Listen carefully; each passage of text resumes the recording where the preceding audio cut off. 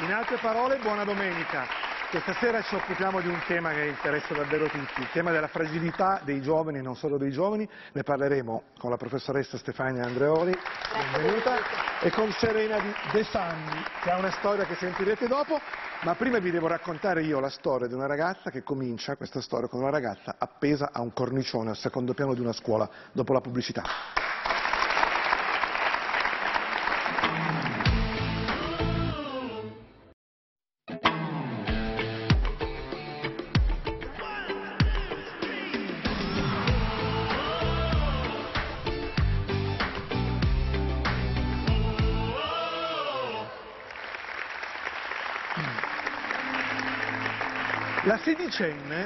È appesa al cornicione del secondo piano della scuola.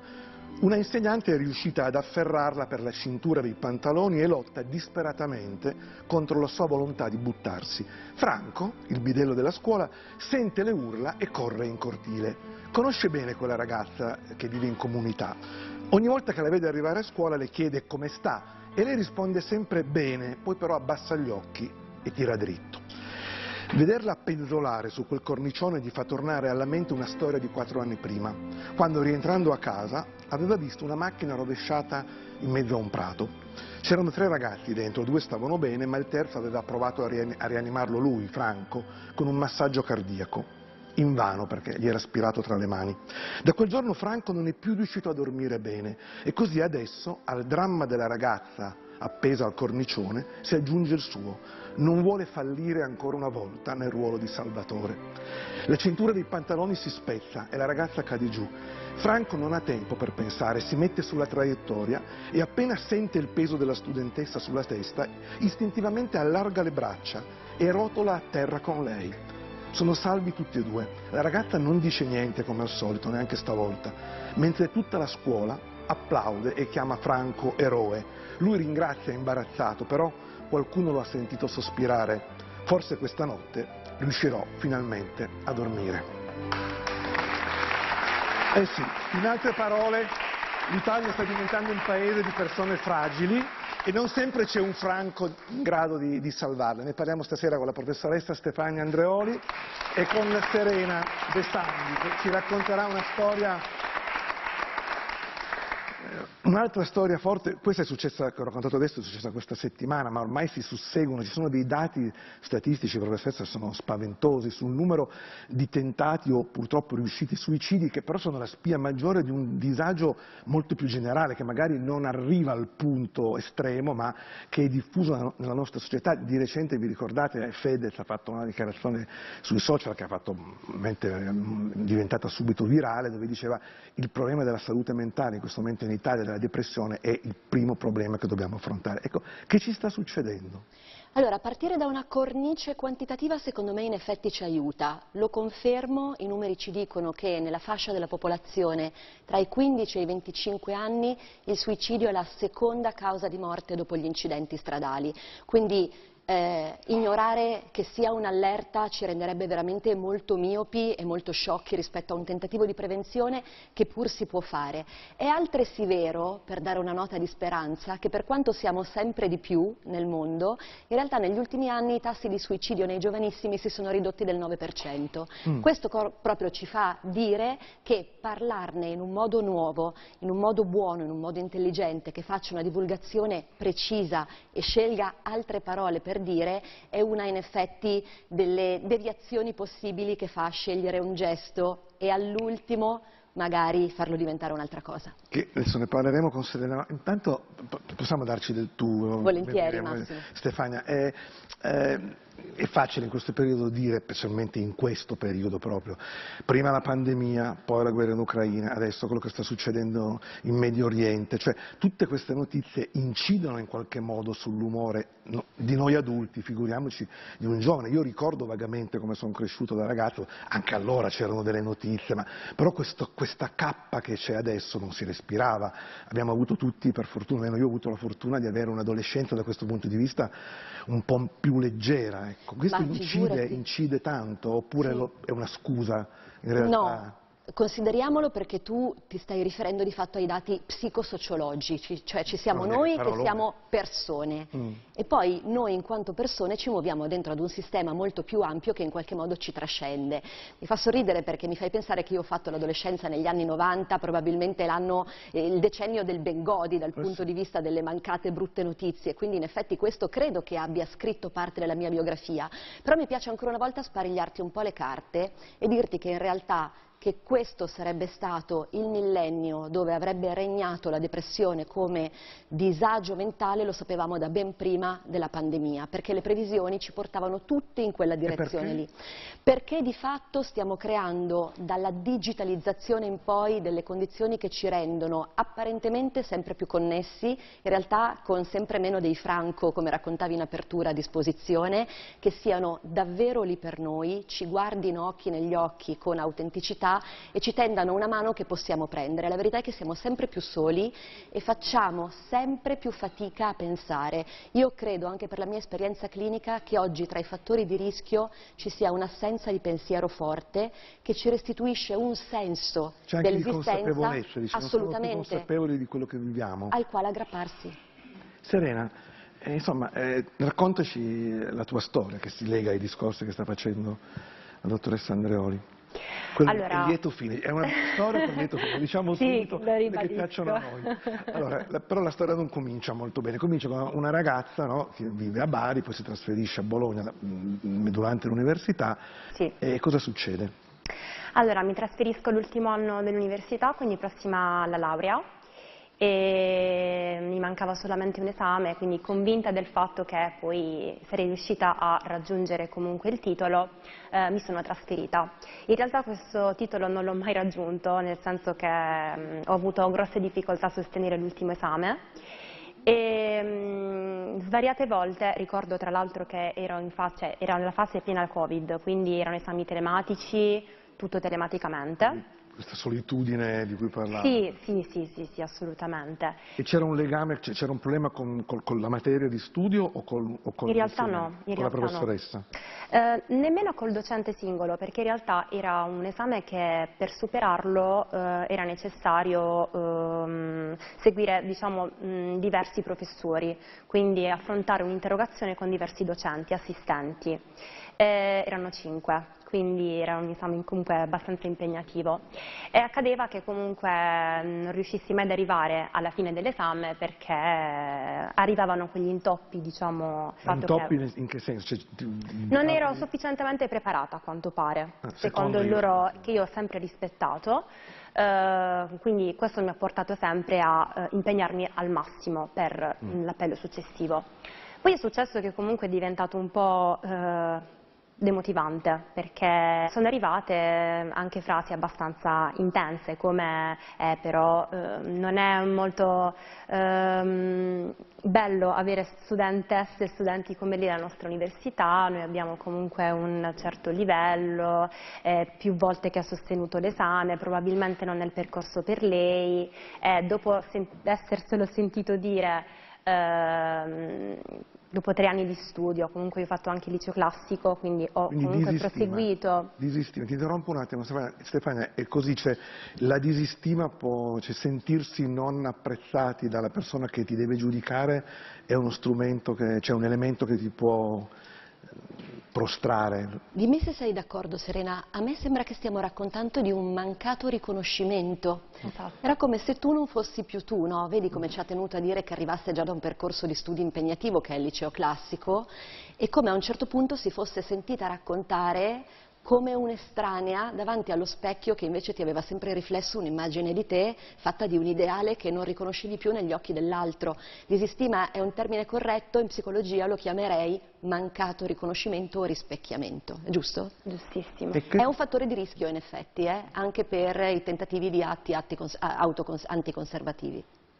E a quel punto cosa succede? C'è una, una sera della tua vita che insomma non, non ti dimenticherai più. No, Io eh, ci tengo comunque a specificare che era già una fase molto complessa per me a livello anche personale e l'università era secondo me eh, all'epoca il luogo sicuro, nel senso che per molti di noi, eh, terminati gli studi del, del, liceo, quindi del diploma, eh, l'università è una tappa obbligatoria perché altrimenti si rischia di fallire. Mm. Eh, non si raggiunge un livello di apprezzamento, di stima e quindi la corsa diciamo, contro il tempo di iniziare l'università subito dopo il diploma, quindi non si ha nemmeno il tempo di scegliere effettivamente quello che può essere il percorso di studi, di formazione più adeguato alla propria persona. E, mm, e, questa fretta mi ha pesato molto, al punto che poi eh, questo malessere che già c'era si è intensificato al punto che le parole di eh, questi, questi, docenti mi sembravano talmente reali che io ho iniziato a dire ok, forse hanno ragione loro, davvero hanno ragione loro, quindi io tutti questi anni di studio non, non sono stati così eh, autentici come credevo. Eh, era l'ultima data dell'appello di, di, di, febbraio, quindi non avrei avuto altre a disposizione e quindi molto serenamente con me stessa mi dissi che se non fosse andata bene evidentemente il problema ero io, cosa che poi è successa. Ti l'esame è andato male? È andato male, sì, in realtà non, non è durato nemmeno molto, quindi eh, va bene così insomma. A quel punto il mondo ti è crollato? Sì, cioè nel senso, quello che ci tengo a sottolineare è che io tutto questo eh, disagio eh, l'ho appreso dopo con la terapia, perché in quel momento mh, era un ok, ho trovato... Eh, non c'era consapevolezza? sì, non c'era la consapevolezza, assolutamente. E, ehm, come programmato, come avevo deciso come stessa la sera prima, poi io passai la giornata in casa, quindi non, dissi, non mi feci sentire con nessuno dei miei, dei miei amici, i miei genitori anche. Ehm, e verso le 6-7 programmai l'invio di, di, tre mail alle persone per me più importanti e avevo preso quella decisione di porre fine a tutto questo malessere, perché per me... Tre mail in cui salutavi le persone. Esattamente, davo le mie spiegazioni. Alle persone care, cioè ai genitori. Sì, sì, sì, e specificavo che eh, io ero in quel momento felice, perché mi sembrava di, che fosse la cosa giusta, come se fosse un castigo che dovevo affrontare, perché non avevo raggiunto il livello che io mi ero autoimposta, che la società mi aveva portato ad autoimpormi. E poi è successo che quella sera appunto um, riuscii a mettermi in contatto con la mia psicoterapeuta e, um, dicendole che avevo preso questa decisione in termini velati, però lei aveva capito perché lo sapeva che era uno scoglio importante ed è rimasta con me eh, per uh, diverse ore cercando Uh, sì, sì, sì, tramite chat. Ah, eravate in chat? Sì, sì. Quindi vi eh, guardavate anche?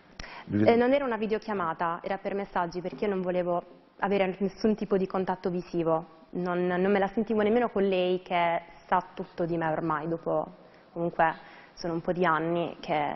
E quindi avete cominciato, terapia. ti interrompo ancora un certo, attimo. Certo, certo. Eh, ti è mai successo di trovarti in una situazione del genere? Urca sì. Mm. Fortunatamente... Solo che fate un lavoro voi che... Mamma mia. Infatti. Beh, Freud diceva che il nostro lavoro, quello degli insegnanti, è un lavoro impossibile, perché poi in effetti tu sei insieme all'altro, ma è dell'uomo della strada credere che noi cambiamo l'altro, che leggiamo nella mente dell'altro, che capiamo l'altro. Noi non capiamo proprio un bel niente, solo che se siamo abbastanza bravi e abbastanza umani siamo lì a portare sulle nostre spalle diviso per due il dolore dell'altro che non è il nostro con il massimo del rispetto possibile. Ma momenti quando ogni tua singola parola può decidere l'umore della persona che sta decidendo, cioè io non rimarrei senza parole, è il caso di dire, non riuscirei a dire niente. Allora, in una trasmissione che si intitola In altre parole ti dico come si dovrebbe fare, poi purtroppo fatto... è una recita a soggetto, te la giochi sì. sul momento, è vero che ti trovi su un crinale, ma quello che vale in quel momento è la presenza. Mm. Essere lì, Massimo, che è un valore che abbiamo completamente perso e quindi non possiamo educare. Sempre, vale in generale. Allora, in generale noi pensiamo di dover fare. No. Ma guarda che il dover fare è quello che ha ammalato lei, eh? Noi dobbiamo essere. È così. Io dico sempre che Mio figlio, che ha quasi 5 anni, la parola che ripete di più è guardami. Guarda papà, guarda, guarda. Cioè lui è, vuole es- che tu sia presente nella sua Eh, vita. ma è il rispecchiamento di cui ti parlavo Che- prima. e- eh. da grandi non lo diciamo più, ma continuiamo a pensarlo. Eh, adesso sentiamo invece e cosa la collega di Stefania Andreoli che cosa ti ha detto in quei momenti. Ehm, più che altro io mh, cercavo un motivo per restare, per esistere, che sono due parole bellissime ma diverse anche a livello etimologico. Ehm, e lei mi ha dato la sua opinione, che sono la natura, i fiori, l'arte, Ah, cioè, eh, la vita. le hai chiesto che, per Sì, quali sì, io ragioni gliel'ho devo chiesto continuare perché- a stare in questo mondo. Assolutamente, perché io ho detto io in questo momento non vedo niente, non vedo proprio niente, niente in cui posso ehm, rivolgermi, a cui posso rivolgermi. E lei mi ha fatto una semplice lista che in quel momento ho detto sì, sono cose bellissime, però non sono un motivo Quindi, per restare. La natura, l'arte, ehm, le passeggiate, l'amore, ehm, queste cose qui. E, al punto io poi smisi di rispondere perché era Scusa, un po'... sono delle cose a cui di solito pensiamo di meno Sì, e invece sì, poi sì. dei momenti decisivi sono quelle che contano. E poi Quanta pensaci, più. basta guardarsi intorno e ci sono, cioè sì. non è niente da conquistare la natura. L'arte ce l'avremo anche fra pochissimi minuti con Jacopo Veneziani, quindi le, le ce l'ho proprio intorno a noi, però non ci pensiamo mai. E a quel punto che succede? A quel punto tolgo il telefono, eh, quindi ormai io ero già di quel pensiero, però poi è arrivato questa notifica, questa vibrazione.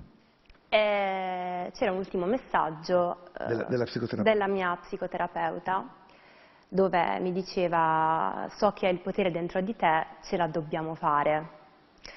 E quel messaggio mi colpì moltissimo perché pensai proprio in quell'istante, ma perché non mi ha scritto ce la puoi fare? Ce la dobbiamo, non devi, ma dobbiamo fare. Quindi mi ha dato quel... Stefania, cosa vuol dire quel messaggio? No, guarda, È la- è la pelle d'oca. Pelle d'oca. È il plurale che Ah. l'ha colpita, no? Sì, sì, cioè, eh, questa sporta così pesante che ti porti addosso è la tua, io non te la posso togliere, però rimango.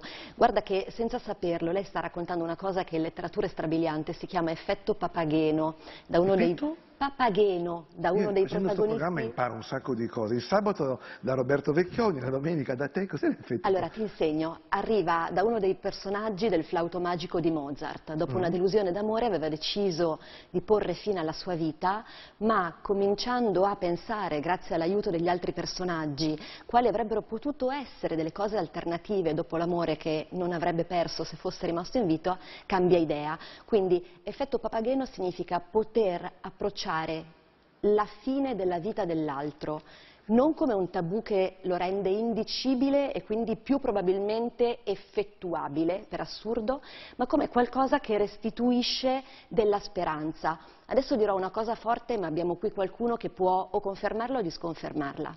Ognuno di vita ha la sua, Massimo, e di ragioni per le quali porvi fine non possiamo immaginare che ce ne siano di ecumeniche, perché sarebbe irrispettoso verso i singoli. Però la mia esperienza una cosa me la racconta. Io non ho mai conosciuto nessuno che abbia desiderato di morire per morire. Io ho sempre solo conosciuto persone che hanno desiderato morire perché erano disperate, quindi non per porre fine alla loro esistenza, ma per porre fine alla loro Sofferenza. sofferenza. Si chiama hopelessness, perdita totale della speranza. Se la restituisci anche solo in forma ideativa, la persona può dire ok, magari aspetto domani. E lei restitu- te l'ha restituita usando il plurale, cioè uscendo dall'io e dicendo noi. E, e tu a quel punto succede qualcosa dentro di te e la cosa bella, veramente bella della tua storia è che poi questa fragilità è diventata la tua, cioè non è che tu hai rinnegato la fragilità, perché poi questo è importante, il messaggio, messaggio è una parola grossa, la cosa che bisogna però dire a tutti, non è che uno deve rinnegare i propri limiti, i propri difetti, che esistono e meno male che ci sono, Deve- può trasformarli in un punto di forza, è questo che hai imparato tu. Assolutamente sì, perché con quel messaggio io ho deciso poi di chiudere la finestra della mia stanza e ho deciso di, di darmi un'altra possibilità. E io quella frase ce l'ho scritta nella lavagna, sulla lavagna della mia stanza, perché ogni volta che io ho un momento in cui mi sento inferiore, in cui mi sento persa, quella scritta mi salva sempre. Ce la dobbiamo fare. Ce la dobbiamo fare. Hai il potere di te, ce la dobbiamo fare. Che fai? Ce la dobbiamo fare. Ce la possiamo fare, quindi quando puoi fare una cosa, doverla fare non è più l'onere del diktat performativo, ma diventa un'opportunità. È la differenza tra la possibilità e l'obbligo, è libertà. È la libertà, è la libertà. E, e, e Serena, lei ha, diciamo così, questa libertà l'hai utilizzata per dedicarti anche tu al noi, no? perché fondato hai fondato un'associazione di cui sei presidente che si occupa proprio sì, di questo. Esatto. Eh, sulla parola fragilità ci tengo a fare questa piccola osservazione perché in realtà poi, nonostante tutto questo percorso, l'amore per il latino e il greco mi è sempre rimasto eh, lo studio delle etimologie per me è importante. E infatti fragile, fragilità deriva dal verbo frangere. Occhio cosa dice perché c'è Vecchioni che ci sta ascoltando. prossimo, Va bene, accolgo poi nel eh. caso correzioni, sì.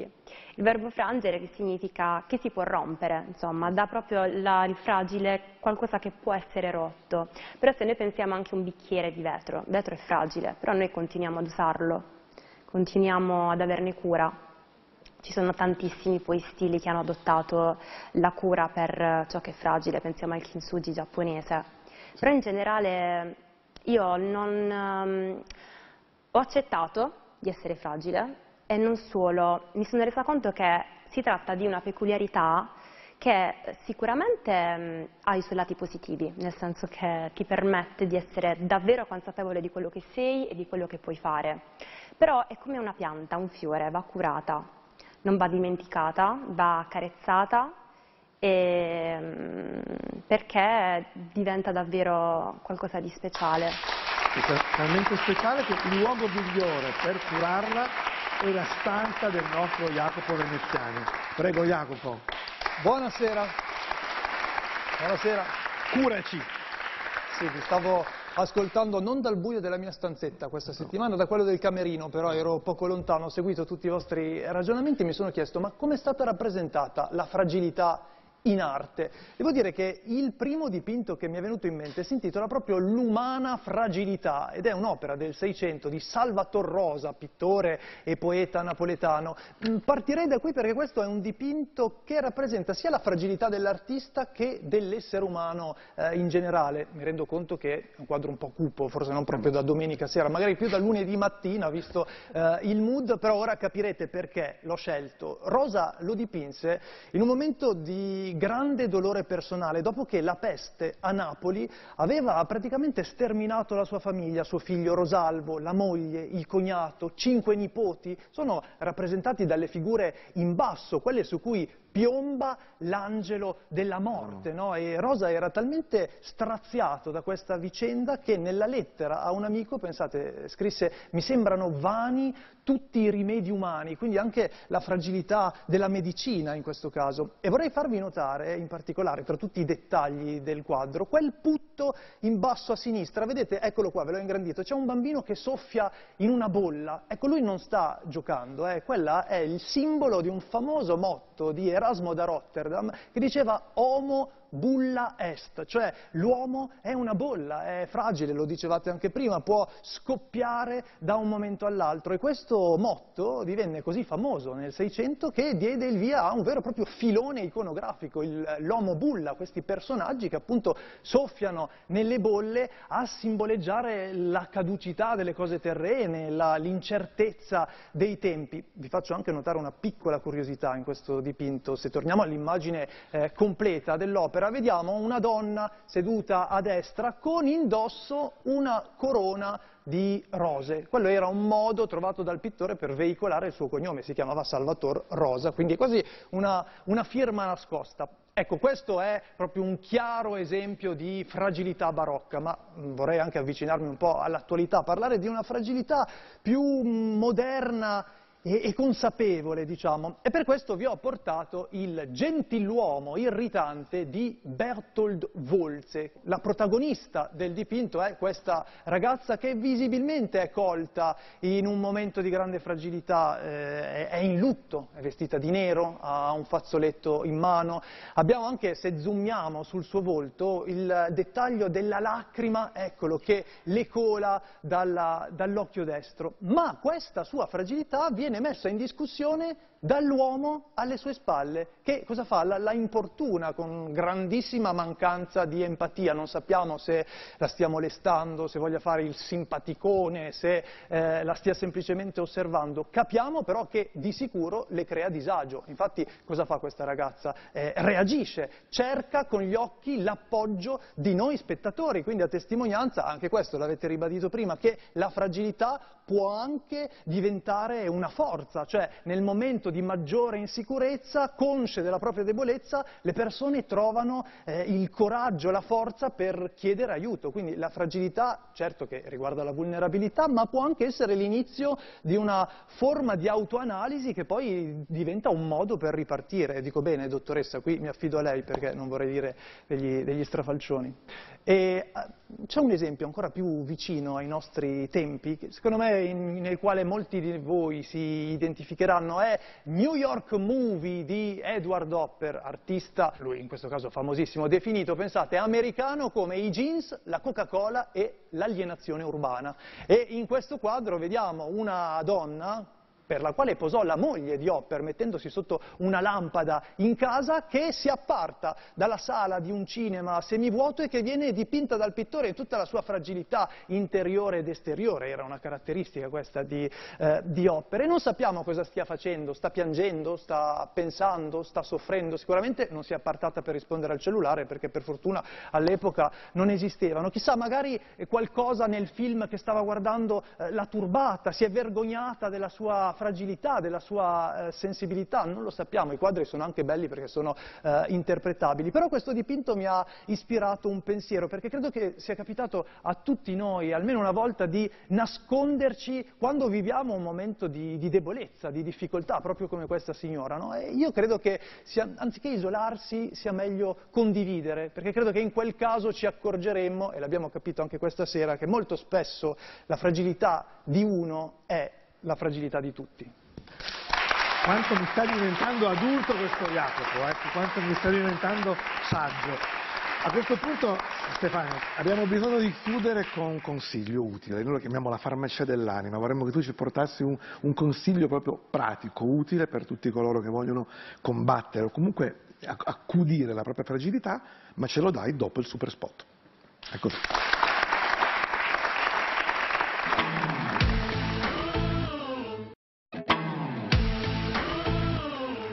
Altre parole, bentornati. Abbiamo chiesto a Stefano Andreoli di lasciarci con un consiglio utile per la nostra farmacia dell'anima, un libro insomma.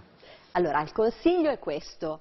Eh, facile più a dirsi che non a farsi, però provare per credere, non combattere la nostra fragilità, perché andandole contro si incattivisce e non rispettiamo la nostra natura. Noi di fatto siamo fatti di acqua e fragilità, vale per chiunque. Dobbiamo accomodarci sì dentro. A volte leggendo, io mi curo leggendo, eh, è una terapia che funziona e quindi ho pensato a cambiare l'acqua ai fiori di Valerie Terré. A proposito di acqua. A proposito di acqua. È una storia di storie, è un romanzo corale, eccolo qua. Valerie Perrin, dove... un grande successo sì, di due anni fa. Meritatissimo, eh, dove tutti hanno perso qualcosa, alcuni hanno perso qualcuno, dove c'è la paura del futuro, la ferita dell'amore, ma di fondo passa il messaggio che il cimitero non sia l'ultimo luogo dove fermarsi, c'è qualcos'altro che ci aspetta. Ci possiamo fermare qui, Serena, se non l'hai letto leggilo. Lo farò. Eh, insomma, io auguro a tutti una buona serata, grazie, in altre parole ci vediamo sabato prossimo, do la linea a in onda, rimettiamo, togliamo la modalità aereo e diamo la linea in onda.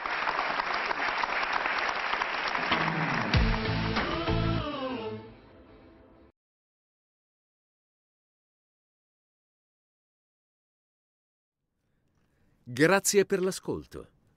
Tutti i podcast di La 7 sono disponibili su www.la7.it slash podcast.